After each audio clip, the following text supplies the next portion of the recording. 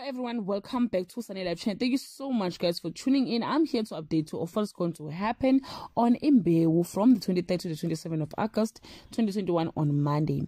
Nokuzola is wounded by how Zithulele is treating her and she leaves. Zithulele seeks solace with his ex-lover Boniswa. Does this mean the end of Zithulele and Nokuzola on Tuesday? It looks like Amadonsela is coming home. Menzi get to sleep at the Rampersad for the first time, dismissing a fuming Makosazana on Wednesday. Things grows more complicated when Gamadonza tells Sebenzi to stop being intimate with Phakade. Buhle Enzagiti prepares Fiso for the Bhengu dinner. Sifiso put on quite a show, leaving Mazulu and Mandlovu horrified on Thursday.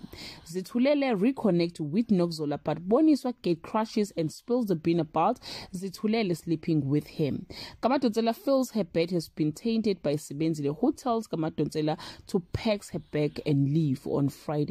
A hangover is the last thing or the least of Bush's worries when she wakes up to find that she's been uh, or she's trending on social media for her drunken behavior. Guys, this is all I have for today. You can leave your comment below and share your opinion.